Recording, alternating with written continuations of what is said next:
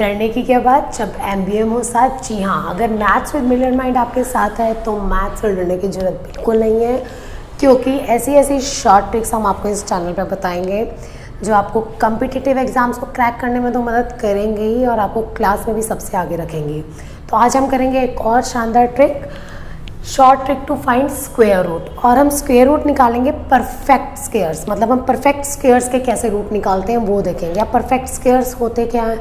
Non perfect scares क्या होते हैं? अगर हम तेज़ी सी भाषा में करें, सीधे शब्दों में करें तो जो परफेक्ट स्केयर्स होते हैं, जिनके पूरे पूरे स्केयर रूट निकल के आते हैं मतलब होल नंबर पूरा निकलेगा। जैसे 625 625 का स्क्वायर रूट होता है 25 कोई पॉइंट तो नहीं आया डेसिमल तो नहीं आया तो ये होंगे परफेक्ट स्क्वेयर्स और नॉन परफेक्ट स्क्वेयर जिनके डेसिमल में आते हैं क्वेश्चन ये है, हमें देखते ही कैसे पता लगेगा ये परफेक्ट स्क्वेयर है और ये इम्परफेक्ट स्क्वेयर है। तो अगर कोई भी नंबर वन से फोर से फाइव से सिक्स से और नाइन से एंड हो रहा है one four five six nine से एंड हो रहा है तो वो परफेक्ट स्क्वेयर होगा। और अगर कोई number two three seven eight से एंड हो रहा है तो वो परफेक्ट स्क्वायर नहीं होगा। सपोज़ अगर कोई नंबर है सपोज़ सिक्स ट्वेंटी फाइव ही ले लो। अगर सिक्स ट्वेंटी फाइव है फाइव से एंड हो रहा है तो ये परफेक्ट स्क्वायर होगा। और अगर मान लो वन ज़ीरो टू है ये टू से एंड हो रहा है तो ये परफेक्ट स्क्वायर नहीं होगा। पहली बात तो हमें ये पता लगे कि परफेक्ट स्क्वायर कौन से होंगे और नॉन परफेक्ट स्क्वायर कौन से होंगे। अब बात आती है कि हम स्क्वेयर रूट शॉर्ट ट्रिक से कैसे निकालेंगे। आपको डिवीज़न मेथड आता है, आपको प्राइम फैक्टराइजेशन मेथड आता है, लेकिन शॉर्ट ट्रिक आपको नहीं आती। और शॉर्ट ट्रिक आनी बहुत ज़रूरी है।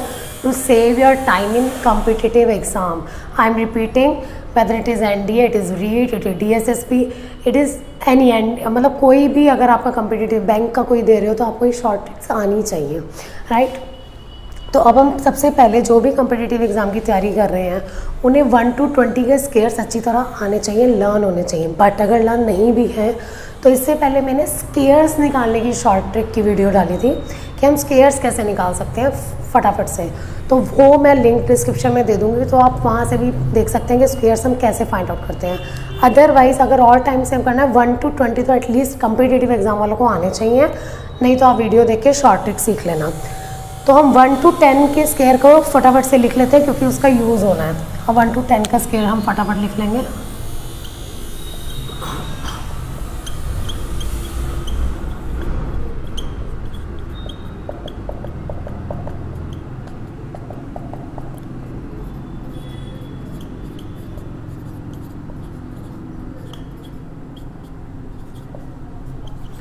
तो ये हमने वन टू टेन तक के स्केयर्स लिख लिए।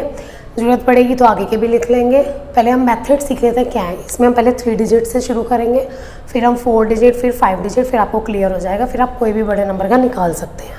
तो सपोज़ मैंने सबसे पहले नंबर ले लिया five twenty nine three digit है। इसका मुझे निकालना है square root step one step one क्या करना है? आपको पीछे से इसके क्या बनाने हैं? पेयर मतलब पीछे से दो बनाने हैं, आगे चाहे एक बचे, दो बचे, तीन बचे। पीछे से दो बना लो। और ये एक अलग कर दिया मैंने। अब पीछे से जो दो मैंने बनाए हैं, एक क्वेश्चन ध्यान से सुन लो। जो पीछे से मैंने दो बनाए, उसका लास्ट डिजिट क्या है? नाइन आपने देखना है कि ये जितने स्केयर्स मैंने लिखे हैं, किसके एंड में नाइन नाइन आ रहा है? एक तो आ रहा है यहाँ नाइन एक एंड में ये नाइन तो वो किसके स्केयर में आ रहा है? वो आ रहा है थ्री के स्केयर में और सेवन के स्केयर में। तो मैंने यहाँ लिख लिया थ्री और सेवन अब ये ध्यान रखना, दोनों को प्लेस करके हमेशा टेन ही होगा। अगर यहाँ वन निकलेगा तो नाइन ही मतलब अगर आपको एक नंबर पता है, दूसरा अपने आप पता लग जाएगा। थ्री है तो सेवन वन है तो नाइन टू है तो एट तो एक नंबर आपको दिख गया, दूसरा अपने आप लिख सकते हैं आप, ठीक है?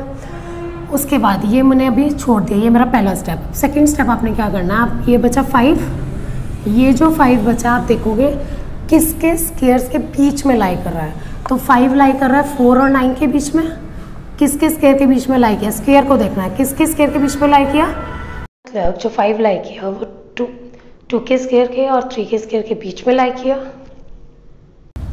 तो टू और थ्री में छोटा नंबर कौन सा है? टू मैंने लिख लिया यहाँ टू ठीक है? हो गया मेरा अगला स्टेप उसके बाद क्या करना है? मुझे अगला नंबर पता लगाना है कि मैं यहाँ से थ्री उठाऊँ कि सेवन उठाऊँ। बस ये स्क्वायर रूट निकल गया। बस मुझे अब ये पता लगाना है मैं इसके टू के साथ थ्री लगाऊँ कि सेवन लगाऊँ। वो कैसे पता लगाएँगे? टू की अगले नंबर से मल्टीप्लाई कर दो। टू है तो थ्री से कर दो थ्री है तो फोर से कर दो तो टू थ्री ज़ा सिक्स अब आपने देखना ये जो नंबर फाइव है। इफ़ फाइव इज़ अगर फाइव सिक्स से छोटा है, इस वाले नंबर से, जो मल्टीप्लाई करके आया है। फाइव अगर इससे छोटा है तो छोटा नंबर ले लो। और अगर फाइव इससे बड़ा आ जाता मतलब यहाँ पर क्या होता है, यहाँ मान लो होता आपके पास फोर तो फाइव इससे बड़ा, ये नंबर चेक करना है, ये बड़ा है कि छोटा है इससे मल्टीप्लीकेशन से। बड़ा है तो बड़ा नंबर लगा दो, छोटा है तो छोटा नंबर निकाल दो। तो हमारे पास 529 का जो स्केयर रूट है, वो आ गया 23 है समझ? करते हैं, एक दो एग्जांपल्स आ जाएगा, बहुत इजी है। समझाने में टाइम लगता है बट जब आप खुद करेंगे ना, बहुत ही ईजिली आ जाएगा। विद इन टू सेकेंड्स अब देखिए, अगर मैं ले लूँ सिक्स सेवेंटी सिक्स करिए।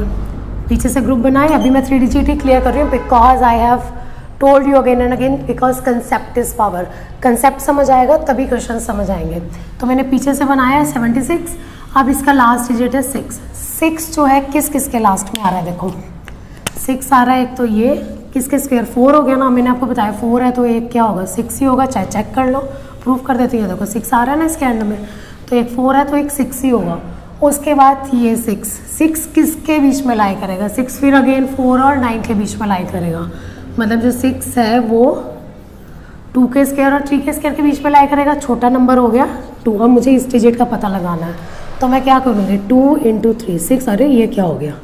सिक्स और सिक्स तो बराबर आ गए। जब हमारे पास, मैंने तभी ये क्वेश्चन कराया, जब हमारे पास ये बराबर आ जाए ये नंबर तो हम क्या करेंगे? बड़े वाला नंबर ही लेंगे मतलब वही इक्वल वाला नंबर लेंगे। तो सिक्स सेवेंटी सिक्स का जो रूट है, वो कितना आएगा? ट्वेंटी सिक्स समझ आया? अब हम करते हैं नेक्स्ट एक और थ्री डिजिट वाला। फिर जब आपको कंसेप्ट समझ आ जाएगा then we will move to next four digit suppose मैंने ले लिया सेवन ट्वेंटी नाइन अब तो आप खुद ही कर लोगे ये। देखो, पीछे से बनाए पेयर नाइन किसके? नाइन को हमने देखना है कि जो नाइन है, वो हमारा कहाँ कहाँ आएगा? तो नाइन हमारा कहाँ कहाँ आ रहा है? नाइन एक हमारे पास आ रहा है, वही थ्री के स्क्वायर और सेवन के स्क्वायर में।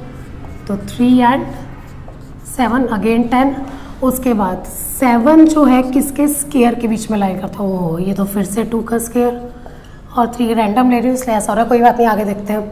टू का स्केयर और थ्री के स्केयर के बीच में सेवन हो गया.